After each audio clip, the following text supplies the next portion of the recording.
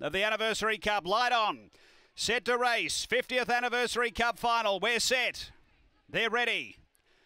Racing, speed coming from Threaten's going to burn through and lead. Uh, coming through Magic Malik and then came Auspicious Queen. But it's Threaten leading to the first bend, Auspicious Queen to second. A length away came Mally Magic and then Howling Hoss. Around them next, out Manelli, Fantastic Victor. Then came Victor Grosso and Kid Rockstar. Down the back, it's Threaten bobbing in the lead. Mally Magic moves up boldly to take over and puts a length and a half on them. Then Auspicious Queen. It's Mally Magic clear though. Oh, the Derby winner for Rasmussen stretching away. Mally Magic takes her 50th anniversary cup. Auspicious Queen second, Threaten third. Then uh, behind those we had Stout Manelli. Next is Fantastic Victor. Behind those came Kid Rockstar and Victor Grosso. The time here is 30 and 32. Big win. After the running of the uh, feature race eight, it is 5, 1, 3, and 8.